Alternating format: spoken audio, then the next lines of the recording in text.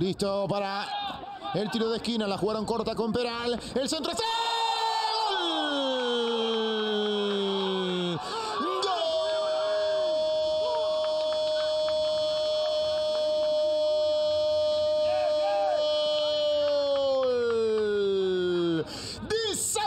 Fútbol Club. Cuando se pensaba que de frente desde el tiro de esquina la tiraban al área, la armaron con Peral y aparece Argüello para ganarla con golpe de cabeza. Lo iguala, lo decíamos, salió con todo en busca de la igualdad y lo encontró aquí Argüello con 10 Canseco y no sé si es autogol. Señores, lo iguala de esta forma Santos Santos 1.